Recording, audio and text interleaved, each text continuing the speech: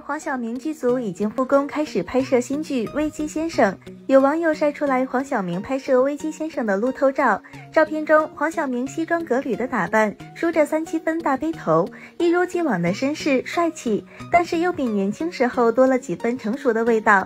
疫情爆发后，《危机先生》剧组积极响应国家号召，在第一时间闭组停拍，全组人员留组待命。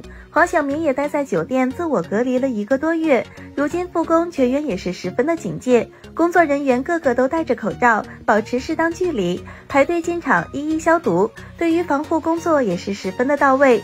只是如今疫情毕竟还没有过去，危险也是存在的。希望黄晓明能够保护好自己，健康是最重要的。